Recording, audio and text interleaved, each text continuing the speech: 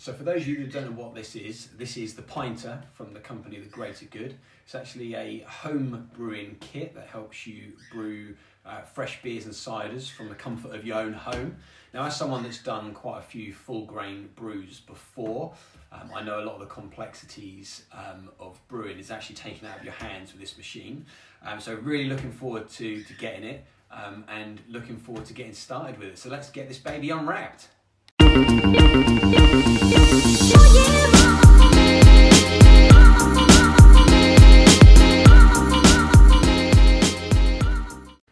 Here we are, the pinter inside, another easy to remove tab across the top. And there she is. Look at that. Now, if that is not fantastic packaging, I don't know what is. So uh, 10 out of 10 first of all, the greater good for that because that is incredible. My first look in real life at the Pinter, which is great. Oh, isn't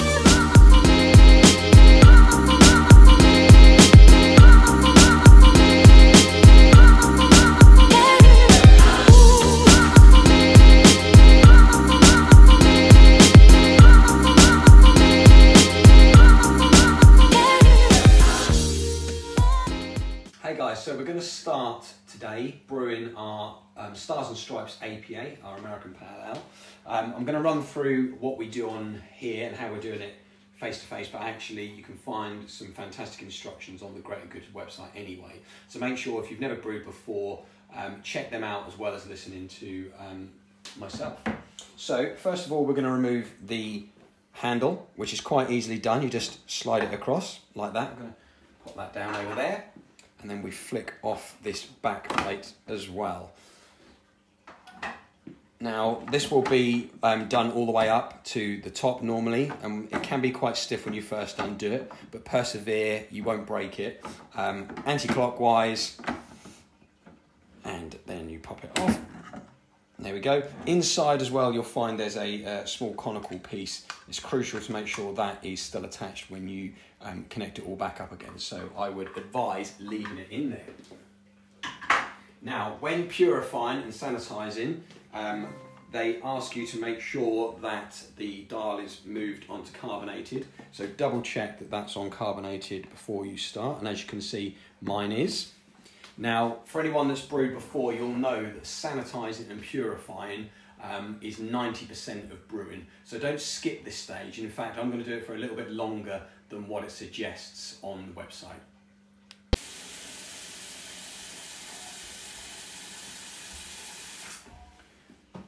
So making sure making sure you put hot water in, but only tap hot. Don't boil the kettle and pour that in.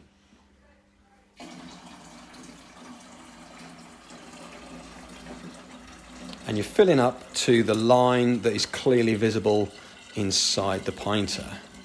So nearly there.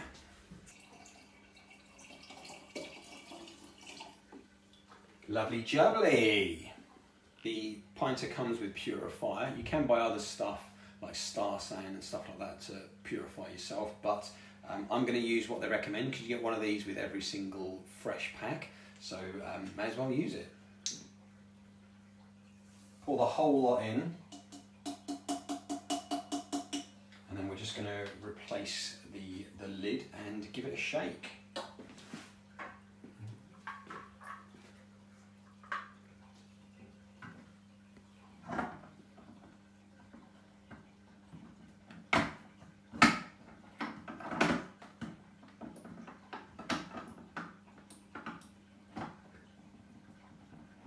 Now important, and they mention this a few times on the website as well, to make sure that the white handle is horizontal. So it starts to give you some resistance when it's about that, you see that? About that sort of distance around. Just make sure you um, put some effort in to get it completely horizontal. So there we go. Now I'm going to give it a shake. Now they advise for 10 seconds. Um, I'm going to do it for a bit longer and then I'm going to leave it in there for longer as well. It's also quite a good arm workout. So there we go, giving it a good shake.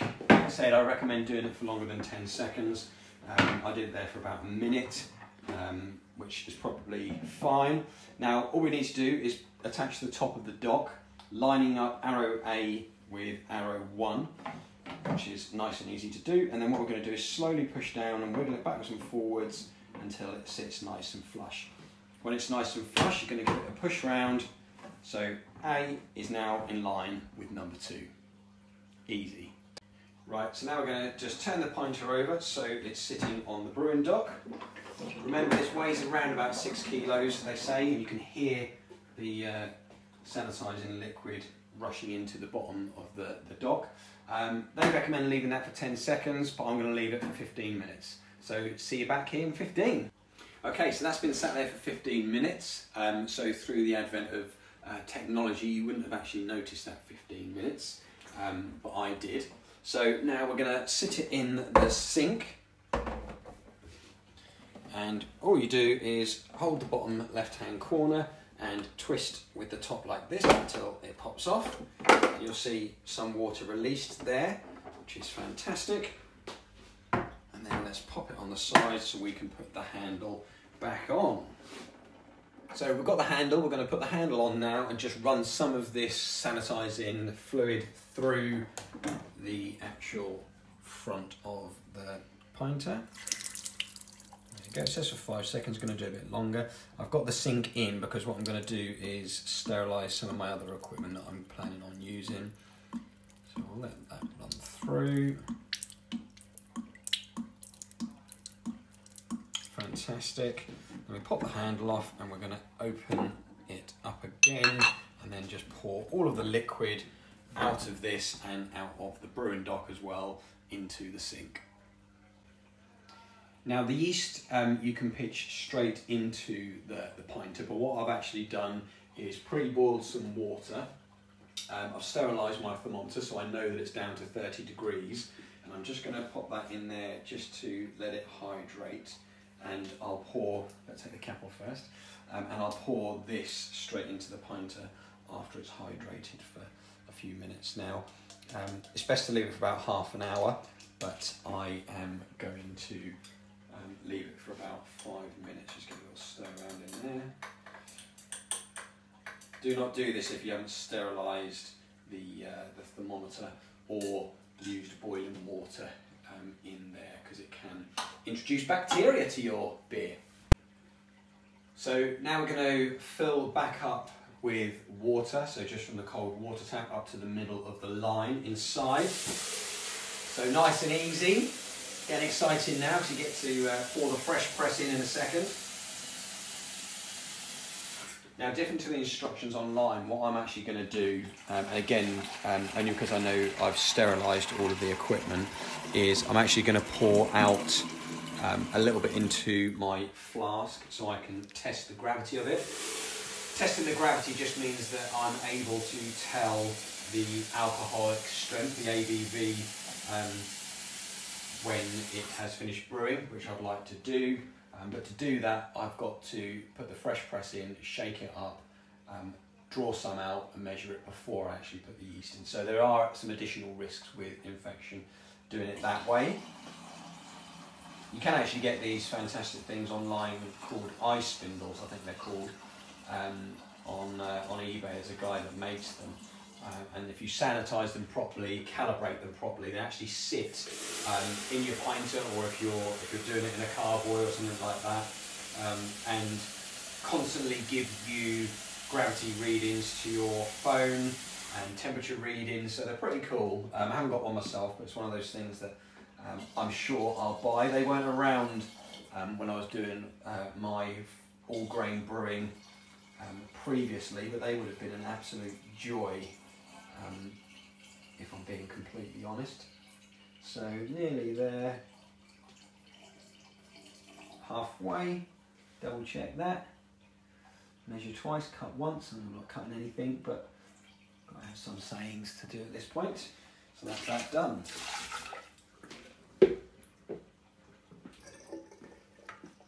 So lid is going on. So Stars and Stripes APA. Um, let's get this bad boy undone. Let's get it in there. Just going to sprinkle the top of this with some sanitizer fluid just to make sure there's no nasty bugs on the outside that can make it into the beer. Again, like I said, brewing is 90% cleaning, and if you're an actual company, 90% cleaning, 10% working out the tax you've got to pay. Right, let's get, oh that smells so good, let's get it in there. So this is essentially a condensed wort.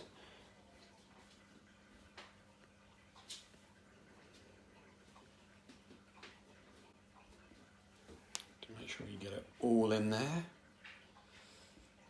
Temptation is to rinse this out and give it a shake and get some more in there, which I might just do a little bit of, just to make sure it's all in there.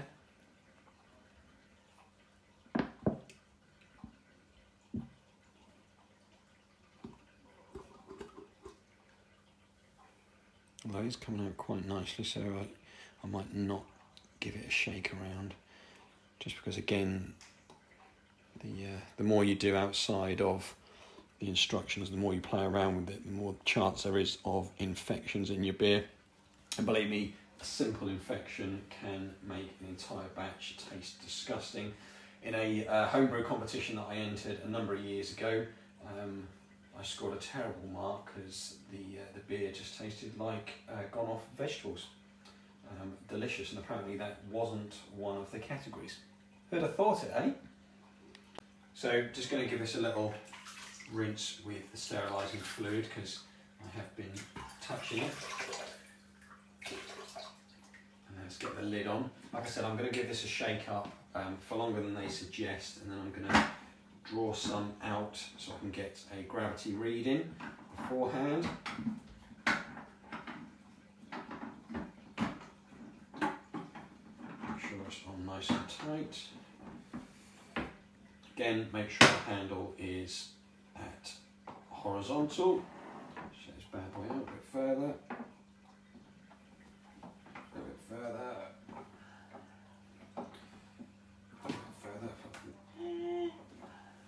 Right, excellent. So I'm just going to give this a shake for about a minute, just to make sure that's all completely mixed up, and then I'll uh, draw some out for a reading.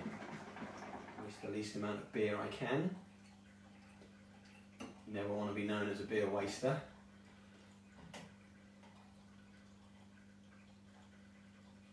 Lovely. So with a hydrometer, you just give it a spin and let it settle, and then you take your reading. 1.05. Brilliant. So I'll jot that down, and then what I can do is take a reading when it has been sat conditioning for a while, um, and I'll be able to then work out online using a calculator because it's a formula I do not know off by heart.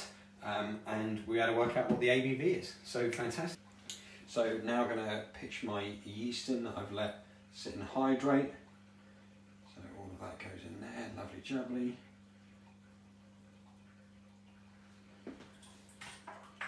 Let's get the lid back on. Now it's really important, so obviously we've already given it a shake um, to begin with when we first put the water. Normally you could you'll put the yeast in at the same time and give it a shake. It's another really important stage to aerate it as much as you can um, to give their uh, yeast the best opportunity to breed and produce that lovely flavour and lovely carbon dioxide. Right, is that perfect? Yeah. Lovely jobby. So here goes for another 60 second shaking. See you in a minute. So all you do then is put the dock back on the top exactly how you did for sanitising. So the um, A above the one arrow, slightly push it down over the two arrow. Um, took a couple of pair of hands to do that to be honest with you, um, but we got there in the end. And then all we do is turn it up completely. And we're now going to stick that in our um, dining room, so around about 20 to 22 degrees. It's double insulated, so um, small changes in temperature are not going to fluctuate, or fluctuations in temperature, sorry, are not going to change the temperature of the liquid inside hugely. But what you don't want to be doing is dropping it um, you know, down low for a long period of time and then warm for a long period of time, as well as disturbing it constantly. So try and find somewhere nice for it to sit. Hi guys, so we've been fermenting for five days. We're now going to take the dock off um, and uh, see what that's looking like. Hopefully there'll be a bit of an eruption with some of the um,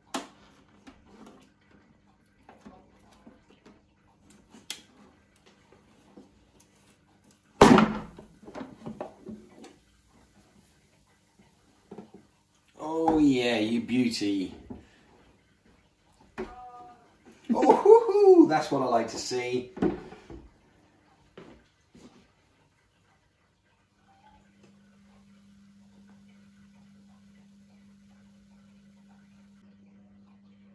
Lovely eruption there. Now going to stick it in the fridge to let it condition. So we're going to stick the faceplate back on and the tap. So let's get that in here.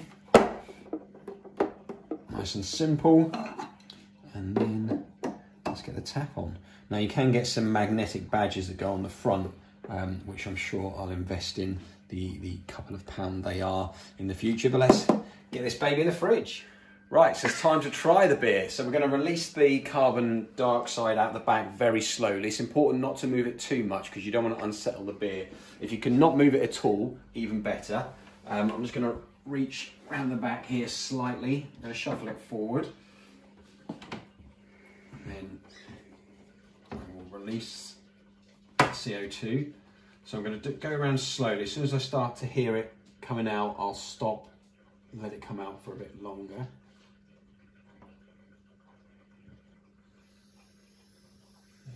Slowly coming out.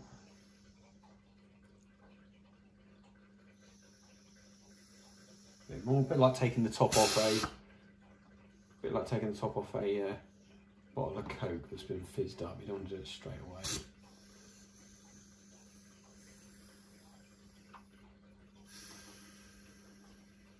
Okay.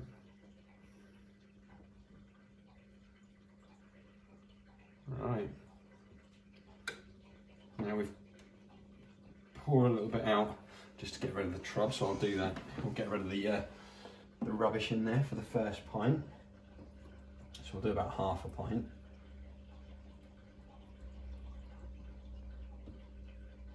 Well, definitely carbonated, that's for sure. So let's bin that one. Right, and let's get the first pint out of this then. It won't be a pint, obviously. It'll be a small glass worth. There's definitely some lovely carbonation there, which is great.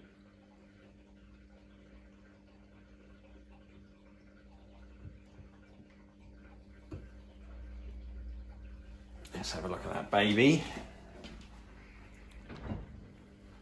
That is looking lovely, see that? Oh, I cannot wait to try some of that. Just let it settle for a little bit um, topped it up slightly. So let's give our first taste. Smells a little bit yeasty, which is fine because if it is a little bit yeasty, we can just leave it conditioning for a little bit longer.